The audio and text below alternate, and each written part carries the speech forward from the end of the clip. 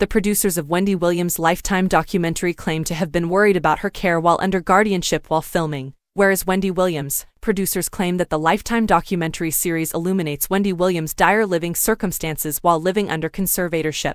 During an awards consideration panel in Hollywood on May 1, executive producers Mark Ford and Erica Hanson expressed concern about Williams' living conditions during production, noting that she was shown to be living alone and without food in her refrigerator. They also mentioned that they were trying to get in contact with Williams' family. As we dug further, we found that until we reunited Wendy with her family, we couldn't let go of her, Ford remarked because we felt that at a certain point that's who's going to be there for her to care for her. Ford noted that at the time they were not made aware of her frontotemporal dementia diagnosis and still had several questions post-production about why, as it appeared to them, Williams was not receiving adequate care and why her legal and financial guardians Sabrina Morrissey was not responding to any kind of calls for help requests for comment about the documentarian's accusations have not received a response from Morrissey. However, she filed a lawsuit on February 20th in an effort to prevent the 4.5-hour film from airing. Morrissey criticized the network's documentary in the complaint, which was made public and acquired by People. She said that it shamelessly exploits and portrays her in an extremely demeaning and undignified manner. Morrissey claimed that Lifetime incorrectly states that she is broke and cruelly implies that her disoriented demeanor is due to substance abuse and intoxication. Williams was allegedly not capable of consenting to the conditions of her contract with Lifetime's parent company,